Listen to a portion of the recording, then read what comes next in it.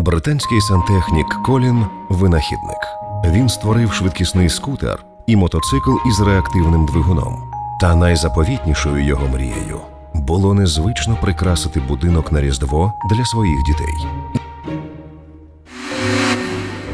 І йому це вдалося. Він перетворив звичайне житло на справжній ялинковий будиночок. Тато винахідник створив красиву різдвяну ілюзію ялинки, яка пробиває дім наскрізь.